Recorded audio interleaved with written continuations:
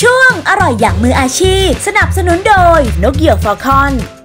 เมนูเบเกอรี่อร่อยๆ ที่เรานำมาฝากสายหวานในวันนี้ บอกเลยว่าเอาใจคนที่ชอบกินขนมปังเนื้อนุ่มๆ หอมกรุ่นจากเตากับไส้ทูน่าโดยเฉพาะ เรามาเริ่มทำเมนูขนมปังบันทูน่าไปพร้อม ๆ กันเลยค่ะ ขั้น ตอนแรก เทแป้งสาลีทำขนมปังลงในอ่างตี ยีสต์แห้งสำเร็จรูปทำขนมปังหวาน เกลือป่น น้ำตาลทราย แล้วนำเข้าเครื่องตีค่ะ จากนั้นเพิ่มความหวานมันให้กับเนื้อขนมปังของเรา ด้วยครีมเทียมข้นหวานตรานกเหยี่ยวฟอลคอน ผลิตภัณฑ์คุณภาพจากผู้ผลิตเดียวกับโฟร์โมสต์เพื่อช่วยเพิ่มความหวานมันยิ่งขึ้น ใส่ไข่ไก่ลงไป แล้วเพิ่มความหอมมัน ด้วยนมข้นจืดตรานกเหยี่ยวฟอลคอน จะช่วยให้เนื้อเค้กของเราอร่อยหอมนุ่มยาวนาน ตามด้วยน้ำเย็น นวดจนส่วนผสมจับตัวเป็นก้อน ใส่เนยสดชนิดเค็มลงไป